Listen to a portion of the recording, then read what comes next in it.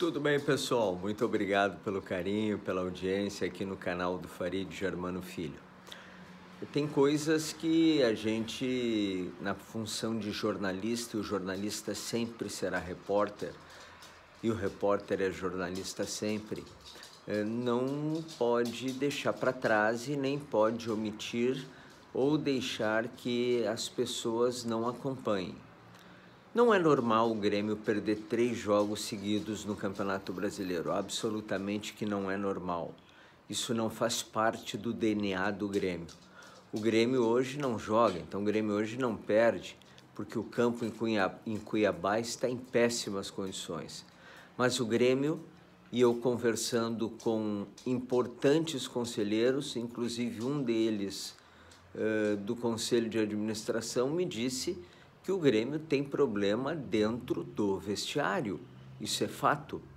Desde a saída da Renato, do Renato, eh, do técnico Renato e da chegada do técnico Thiago Nunes, que ocorreram mudanças e alguns problemas dentro do vestiário que procuram ser administrados pelo vice-presidente de futebol e principalmente pelo presidente Romildo Bolzan.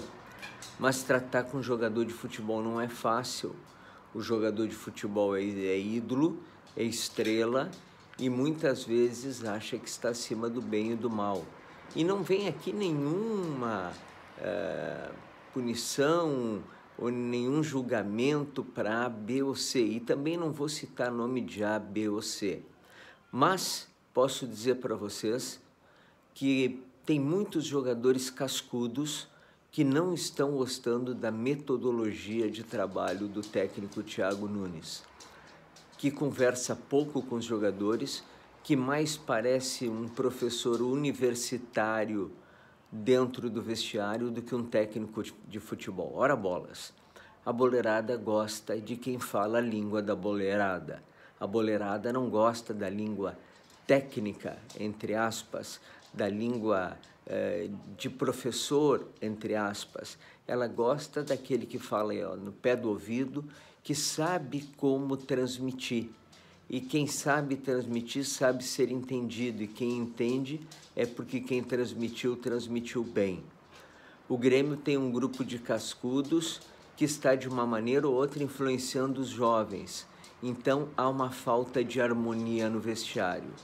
O Thiago Nunes já teve esse mesmo problema no Corinthians e a sua duração no Corinthians foi pouca. No Grêmio, Bom, no Grêmio vamos ver como as coisas vão acontecer.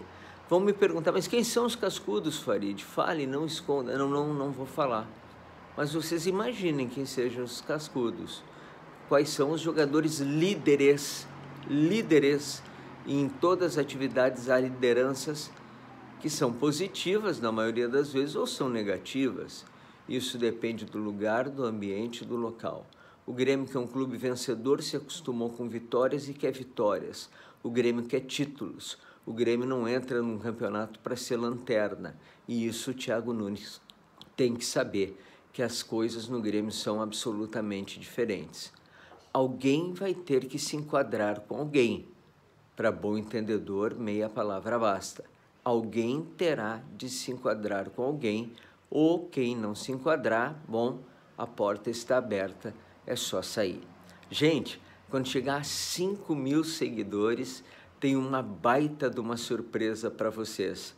E quando chegar a 10 mil seguidores, farei lives no pré e no pós-jogo. Me ajudem, divulguem. É o canal do Farid Germano Filho, tá certo? Um bom domingo a todos. Deus no comando sempre. E não se briga com a notícia.